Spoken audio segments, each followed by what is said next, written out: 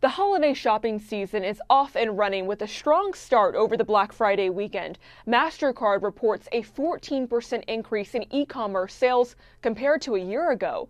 Of those online sales, more people than ever are using their phones. More than half of Cyber Monday sales were purchased using mobile devices where customers can get access to unique discounts. Retailers can provide them with those personalized offers that consumers are really looking for. Adjusted for inflation, sales at brick and mortar stores actually fell, but experts say that can be misleading.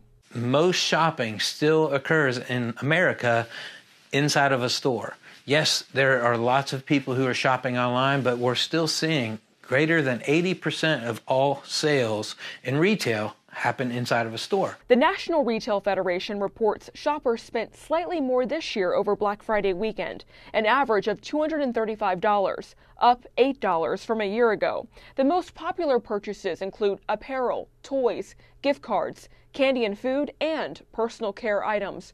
Retailers are also trying out new AI chatbots to help recommend products, but experts say they work better when they learn a little bit about what exactly you're looking for and that runs the risk of rubbing some people the wrong way.